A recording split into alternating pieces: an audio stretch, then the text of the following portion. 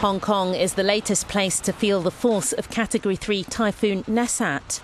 The warning signal is at level 8, the highest is 10, meaning schools and offices are automatically shut. The ferocity of the storm was enough to halt everyday activities, even closing the city's busy stock exchange. In Hong Kong's harbour, ships were smashed against the dock by the rough waves, and several others ran aground. Fallen trees block several roads, making travel by bus or car virtually impossible.